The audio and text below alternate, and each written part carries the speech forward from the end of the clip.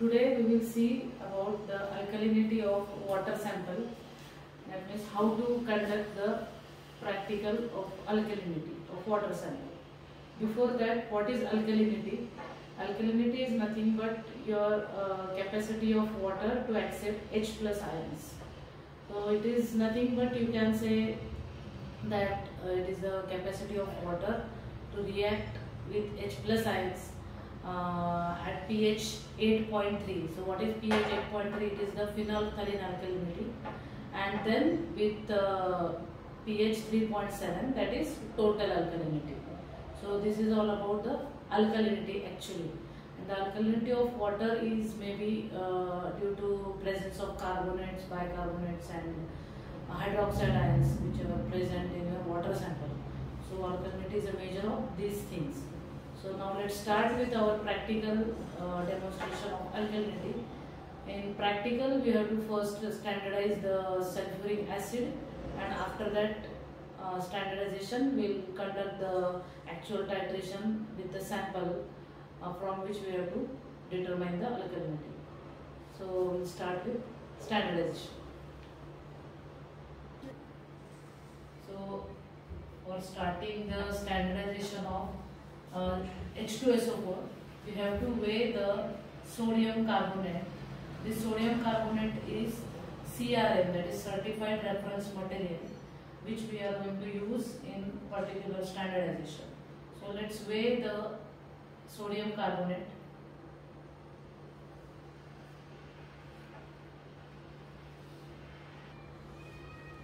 Now we will weigh uh, sodium carbonate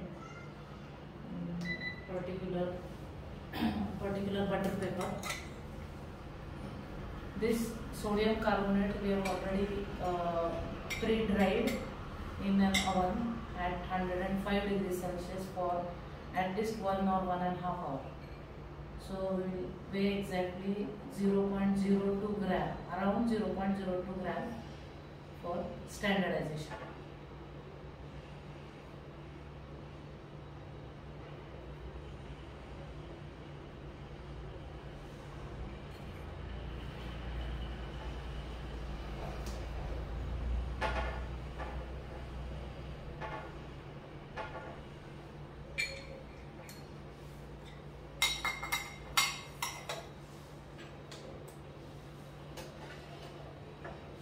Now our weighing is over.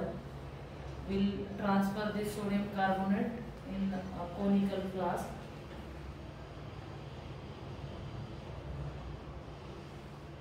You have to uh, note down the weight, whatever you got on the balance and record it for further uh, calculation purpose. Now we already transferred it in the conical flask. Now we'll dissolve this sodium carbonate water. Now after weighing of sodium carbonate, we'll dissolve it in uh, little distilled water. We don't have to add so much of distilled water unless it is dissolved. That much water is sufficient for dissolution purpose. After complete dissolution, we'll add indicator that is methyl orange indicator. Add just 2 to 3 drops of methyl indicator. now we have added the indicator and we will titrate it against 0.02 normal H2SO4. For this we have already filled the burette with the H2SO4. Now we will start the titration. Titrate slowly, drop by drop till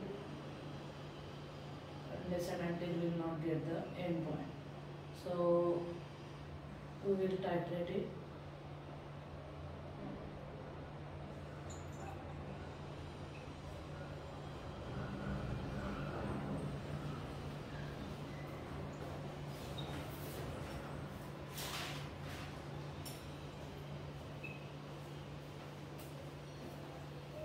So initially you saw the color of the solution as pale yellow or yellow. And what will be the endpoint? The endpoint is the sunset orange color. Unless and until you will not get the sunset orange color, till that time you have to titrate it.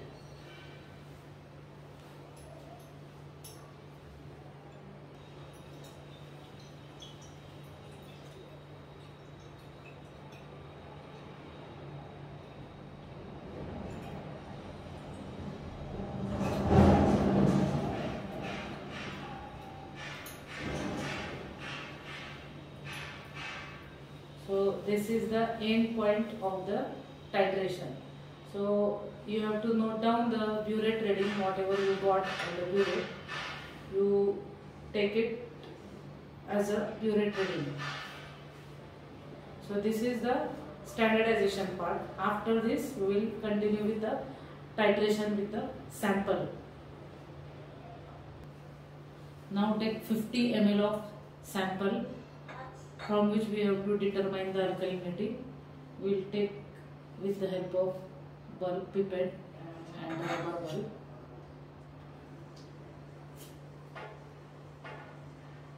Before taking the sample from pipette, you have to ensure that whether the pipette is clean. You have to rinse it with distilled water at least two three times and then take the pipette for sample take around 50 ml of sample in a conical flask.